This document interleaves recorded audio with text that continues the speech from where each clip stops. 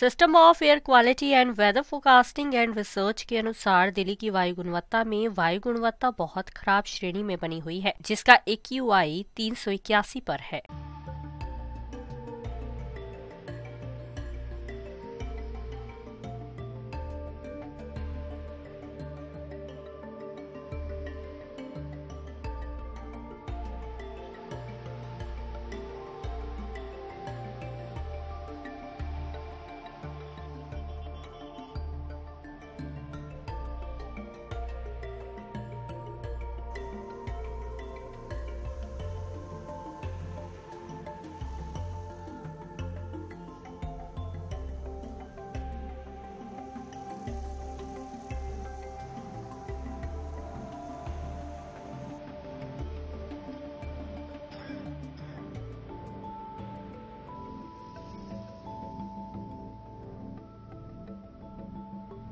ਹਰ social media platform ਦੇ ਉੱਤੇ ਉਪਲਬਧ ਹੈ।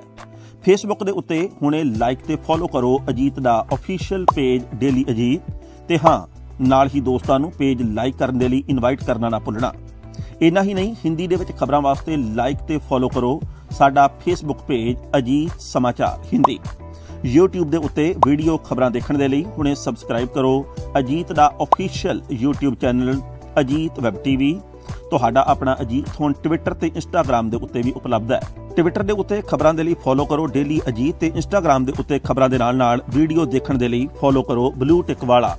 ਸਾਡਾ ਅਫੀਸ਼ੀਅਲ ਚੈਨਲ ਡੇਲੀ ਅਜੀਤ। ਇਹਨਾਂ ਹੀ ਨਹੀਂ, ਅਜੀਤ ਦੇ ਵੀਡੀਓ ਹੁਣ ਤੁਸੀਂ ਐਪਲ ਟੀਵੀ ਦੇ ਉੱਤੇ ਵੀ ਵੇਖ ਸਕਦੇ ਹੋ। ਤੇ ਨਾਲ ਹੀ ਅਜੀਤ ਅਖਬਾਰ ਦਾ ਡਿਜੀਟਲ ਐਡੀਸ਼ਨ ਪੜ੍ਹਨ ਦੇ ਲਈ ਡਾਊਨਲੋਡ ਕਰੋ ਅਜੀਤ ਈ-ਪੇਪਰ ਐਪ ਤੁਹਾਡਾ ਆਪਣਾ ਭਰੋਸੇਯੋਗ ਚੈਨਲ ਤੁਹਾਡੀ ਆਪਣੀ ਆਵਾਜ਼, ਪੰਜਾਬ ਦੀ ਆਵਾਜ਼ ਅਜੀਤ।